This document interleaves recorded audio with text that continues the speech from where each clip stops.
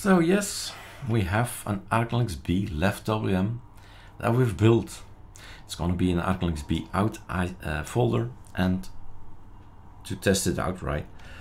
Maybe it's a good thing to have a workflow like that, that you say, okay, let's do a template, let's clone it, call it test. Voila, we've got a virtual machine. We're gonna feed the beast, right, with the ArcoLinuxB out, the LeftWM that we've built just now. That's the date, that's the hour. The morning, right? Start. And you boot up like any of our ISOs and like any of so many ISOs, right? We have lines to choose, drivers, right? Make sure you know what line to choose. Open source drivers without the Nouveau, NVIDIA, which is proprietary, so it's not open source. And this one is the same, but Nouveau is then deleted. So we only have NVIDIA there. And this is if you can't, none of these guys can work, then this is your thing.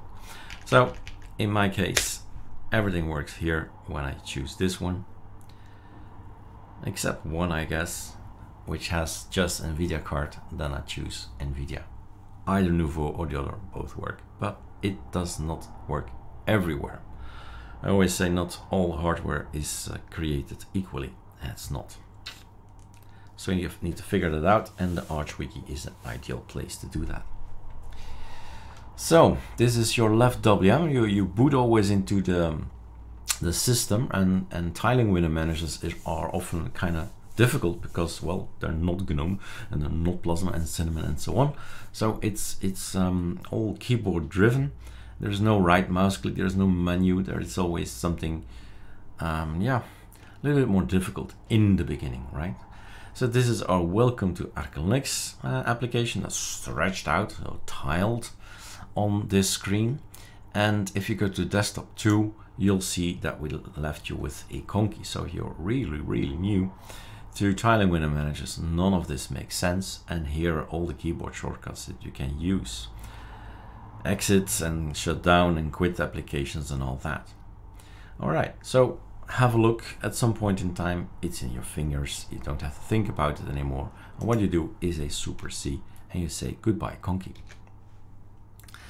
And then you choose. We have two options. Beginner installation. Please, if uh, you're coming from Windows and you're all quite, quite new and just maybe second, third Linux distribution, right?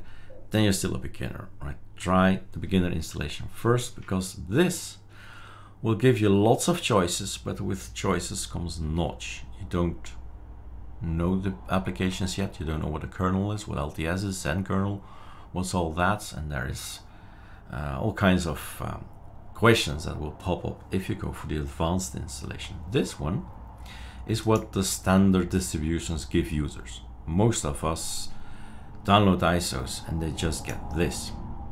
A few choices. Done. We want you to give more flexibility, more um, choices, but like I said, with choices comes knowledge. You need to acquire that particular knowledge. Just for future reference, we're using 3.2.44.2. This is great. It's a graphical installer. We don't need to go to Arch Linux and the wiki and learn about fdisk and change this and change that. It's kind of complicated and it's further down our university and our learning curve. It's later, right? Later we'll learn how to work with ArchLinux and do it the Arch way of installing. This is great. This is graphical is they say, okay, do you want to need, what language do you want your system to be in, uh, and so on. So next, where do you live? Find region, Brussels. You can change this if it's not correct. You can just pinpoint it somewhere else, and it's gonna be okay again. System language will be set to American English. Not okay. Change it. Okay. This one, numbers and locale. The same goes here. Change it to the country you live in or the language. Huh? And next, this is very important for me anyway. I need Azerty key, right? So Azerty is what we type on. And that's the only thing that I should not forget here. And then we erase the disk. This is a virtual box, so right, everything okay. Decide whether you want a small, well, no swap, small swap, big swap, and swap to file. So watch the graphic, then you know what's gonna happen. Okay, so this is the swap 3.1 gig, small one, so you can't hibernate. Bigger, so you can hibernate.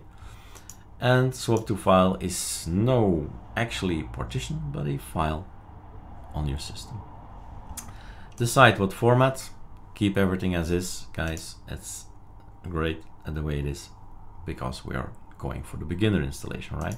But any of these guys, all of them will work fine. You can encrypt or not encrypt, again, beginner installation. So just keep it simple and stupid. Last, longest with the least of frustrations.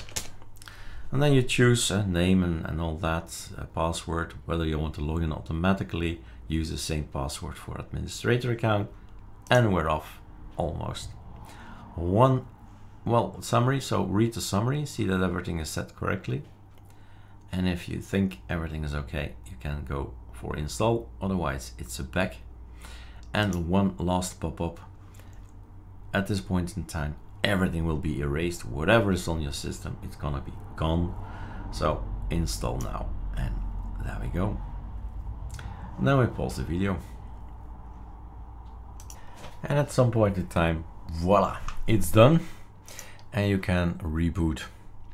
Now the advanced thing, we have lots of packages you can install, lots of Linux applications, but it will always get longer and longer because you need to download everything, install everything. So it depends on the speed of your internet, depends on the speed of your CPU, and then you can reboot as well.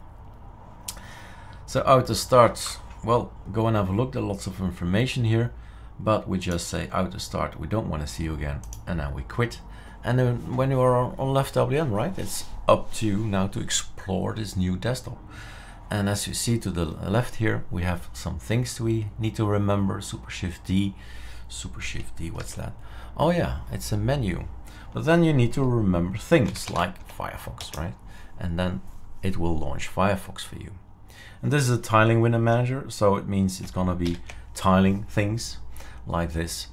And as you see, we've made it nicely in the sense that this here is not by default on ArcoLinux nor is Super X default.